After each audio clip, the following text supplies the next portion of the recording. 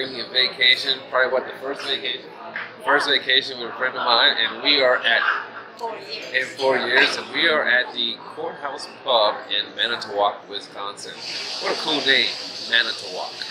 Wow, so I'm doing, so I can show you this here, I'm doing for myself a um, light of four wines with the handle special. Let me turn this around here. So we got here. I guess I should start this in, huh? So we have a white, it's going to be the Chardonnay.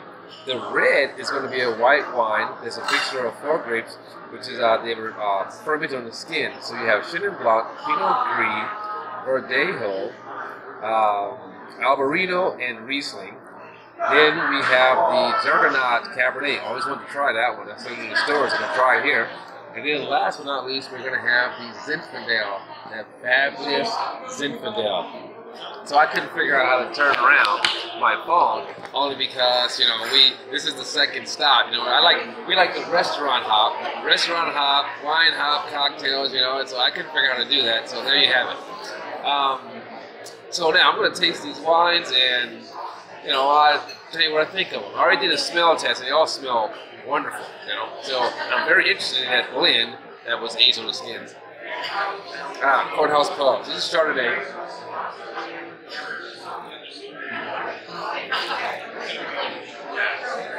Chardonnay is nice, clean, crisp. You know, I'm leaning towards that it was unoaked. You don't get that burriness, you know, uh, but very simple. Nothing over top with. Almost tasting like a Pinot Grigio. It's very easy to drink this Chardonnay. Now for the great blend of the skins, check out that. So you saw the Chardonnay. This is a Chardonnay, right? Here's this, that, that infamous orange wine. Okay, so you heard all the grapes again. I'll do it one more time. You have Chenin Blanc, Pinot Gris, Albarino, Verdelho, and uh, Riesling. There we go.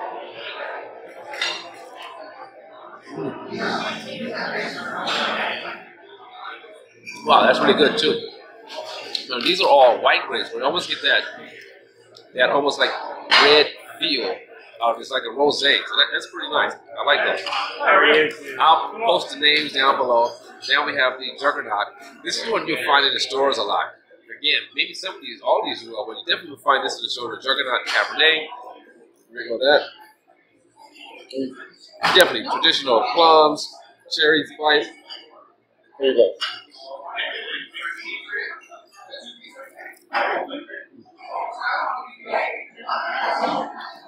Nice tannins, mouth-watering acidity.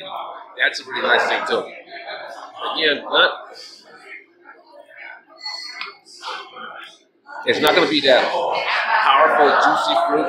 It's kind of more like a lean style of Cabernet, which will make it great for food in this case here. Also for the summer, it's not going to be very heavy and dense. So I think it's pretty nice for the summer. Now for the Zinfandel, that finish on the Cabernet is nice too. I can I can taste that.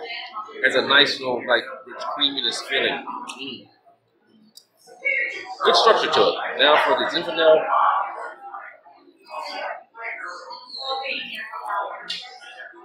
There's my Ritz. Now for the taste.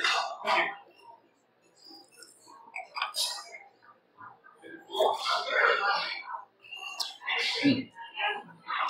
Very nice and smooth tasting Zinfandel. But more tannins come out of Zinfandel than from the Cabernet. The Cabernet is very easy to drink. I think very nice for summer. The Zinfandel is nice for summer too. It's not heavy. You know, it's kind of lean too. But I think all these across the board would be good wines you have for the summer. Again, down below I will post the names of these wines and the vintages. Something you can find in stores.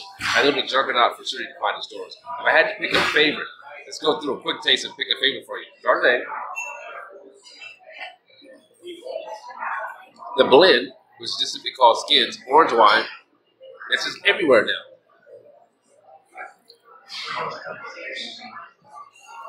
The Cabernet.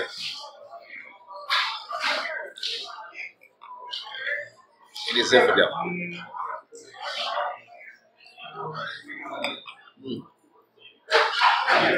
That's hard to choose. And you know what? I'm going to choose them all.